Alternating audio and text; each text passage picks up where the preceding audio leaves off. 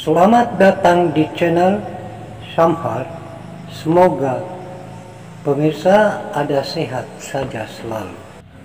Dan mari kita bersama menyimak tayangan ini untuk berbagi pengalaman dalam perbaikan televisi LED. Khususnya televisi LED merek Polytron model PLD 22D 9500 ini bermasalah. Gambar sangat tidak jelas. Sepertinya televisi tersebut kekurangan cahaya pendukung.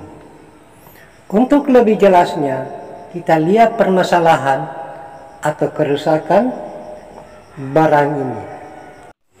Televisi sudah dihidupkan, lampu standby sudah menyala.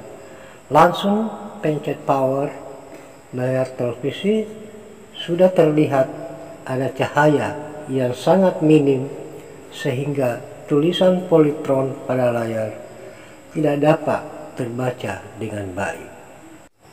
Jadi permasalahannya sudah kita lihat, tinggal melokalisasi kerusakan ada di mana.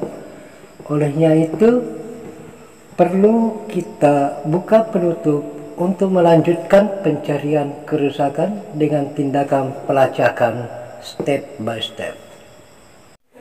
Ini sementara kita buka mur dan mur satunya lagi kita akan buka. Tapi perlu saya ingatkan, penanganan televisi LED dibutuhkan suatu tindakan kehati-hatian supaya tidak menimbulkan kerusakan baru akibat kelalaian. Melanjutkan pekerjaan dengan mengangkat penutup televisi tersebut untuk melihat isi dalamnya. Ini terlihat sudah PSU atau Power Supply Unit dari televisi. Yang harus dilakukan pelacakan test point di mana titik-titik tegangan yang dibutuhkan untuk pemeriksaan. Televisi dihidupkan terlebih dahulu di mana soket AC cord atau kabel listrik dipasang dan mulai terlihat lampu standby menyala berarti arus listrik sudah ada di unit power supply. Sekarang kita mulai pengukuran tegangan pada out system backlight di mana terlihat hasil pengukuran yang didapatkan itu yang menjadi acuan atas bekerja tidaknya suatu sistem. Di sini tegangan terlihat hadir pada out system sebesar 11,9 volt ini menandakan sistem tidak bekerja karena tegangan tersebut adalah tegangan out regulator yang juga merupakan tegangan FCC pada sistem backlight. Pemirsa, yang perlu kita ketahui bahwa tegangan 11,9 volt atau dibulatkan 12 volt itu masuk secara pasif ke dalam LED backlight di mana LED menyala apa adanya. Padahal LED Lake emission dioda sebagai suatu kesatuan berfungsi untuk membacklight dari sistem televisi ini membutuhkan tegangan untuk sempurna sebesar 16 sampai dengan 20 volt jadi ada kekurangan sekitar 6 volt. Kekurangan 6 volt minimal menandakan sistem tidak bekerja dan melanjutkan test point berikutnya yaitu tegangan masuk Fin 4,5 volt itu normal ini tegangan kerja IC driver. Selanjutnya dicek tegangan PWM atau pulse wide modulation sebesar 1,1 volt normal juga. Di mana menggunakan IC driver dengan ID OB3350CP dan MOSFET-nya menggunakan ID AOD atau D triple 4. Hasil pelacakan pada MOSFET tidak ditemukan tegangan pada gate-nya. Berarti IC driver tidak mengeluarkan tegangan pada pin 2 atau pin gate.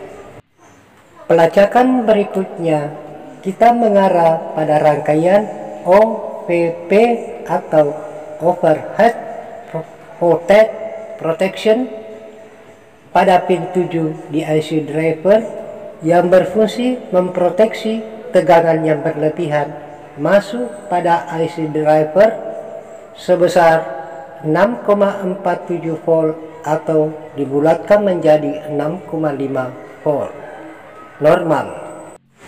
Pengecekan test point kita sudahi dan kita mengambil kesimpulan bahwa IC driver memproteksi dirinya karena ada komponen pendukung tidak bekerja khususnya pada rangkaian COM atau pada pin 6 sebagai pembanding terhadap pin 7 atau OVP.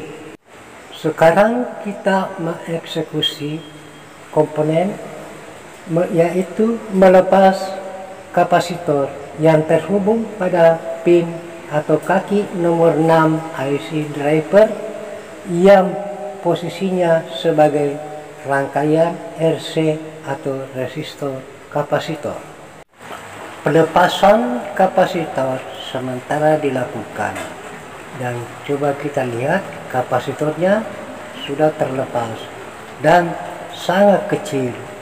Tidak diketahui berapa ukurannya jadi solusinya kita mencari cara untuk mengganti posisi kapasitor yang dicurigai rusak atau tidak berfungsi. Ini adalah pengganti kapasitor yaitu resistor dengan ukuran 100 kilo ohm per 4 watt 2 biji. Sebelumnya kita hubungkan kedua resistor secara seri seperti kita lihat sudah tersolder dan nilainya pun sudah berubah menjadi 200 kilo ohm Pemirsa, lokasi pemasangan resistor itu disolder ulang untuk memperbaharui penyolderan supaya untuk pemasangan resistor tidak sulit. Penyolderan ulang sudah selesai dilanjutkan untuk pemasangan resistor. Pemasangan resistor dilakukan dengan memposisikan kaki resistor pada ground dan kaki satunya mengarah pada pin 6 dari IC driver. Nampak pemasangan sedang berlangsung penyolderan kaki resistor pada posisi ground yang kita lihat dan akan berpindah penyolderan kaki resistor yang terhubung pada pin 6. Nampak penyolderan resistor sudah selesai dan kita akan memasuki tahap pembuktian. Artinya televisi ini kita coba untuk melihat hasil yang kita dapatkan. Televisi sudah kita hidupkan, kembali kita melakukan pengukuran apa ada perubahan hasil yang kita temukan. Ternyata hasil pengukuran yang didapatkan 19,64 volt sebelumnya cuma 11,9 volt berarti sistem backlight sudah bekerja dan coba periksa tegangan pada pin gate MOSFET tegangan 4,55 volt berarti MOSFET sudah bekerja juga berarti Kita meyakini pekerjaan dengan trik penggantian kapasitor dengan resistor yang ukurannya 200 kilo ohm bisa dilakukan. Pemirsa, pekerjaan pemecahan masalah sudah selesai. Selanjutnya kita memasang kembali modul seperti semula. Modul sudah tertata pada dudukannya dan dilanjutkan pemasangan mor yang mana sedang berlangsung. Dan sebentar lagi kita memasuki pembuktian akhir untuk melihat hasil pekerjaan kita. Di sini sudah disiapkan atau memperhatikan apa yang harus terpasang sebelum ditutup soket kabel listrik ini dilepas kembali untuk menyesuaikan cara menutup televisi ini di mana kabel listrik itu harus kita masukkan terlebih dahulu ke lubang penutup baru kabel itu kita tarik supaya memberi keleluasaan dalam pemasangan klip pengaitnya.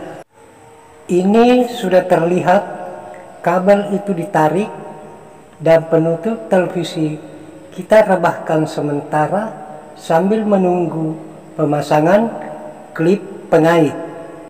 Pengait sudah berada pada kabel listrik, tinggal kita melihat bekas lekukan kabel di mana dia terpasang semula.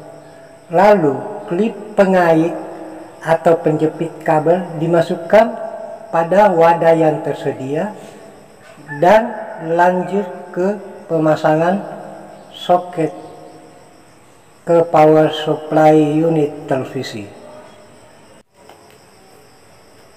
Ini sudah selesai dan kabel kita rapikan serta penutup televisi kita angkat dan mendudukkan pada posisi yang sebenarnya. Lalu kabel listrik kita tarik kembali dengan kesesuaian. Penutup televisi kita sudah dudukkan pada tempatnya, lalu kita merapatkan antara penutup dengan kabinet televisi. Dan lanjut kita pemasangan mur.